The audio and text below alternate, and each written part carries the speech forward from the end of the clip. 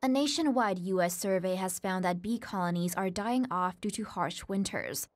The report by Bee Informed Partnership, a nonprofit group led by the University of Maryland, surveyed around 4,700 beekeepers managing around 320,000 bee colonies during the 2018 to 2019 winter season. Researchers found that beekeepers lost an estimated 37.7% of honeybee colonies in the past year alone. This is the highest number of winter losses recorded by the nonprofit group for honeybees ever since they started 13 years ago. Entomologists from the group told The Guardian that parasites such as varroa mites could be causing an increase in colony losses due to the viruses they carry, adding that pesticides used to remove the mites seem to be becoming less effective. According to the newspaper, beekeepers have been making efforts to split healthy bee colonies in order to duplicate them.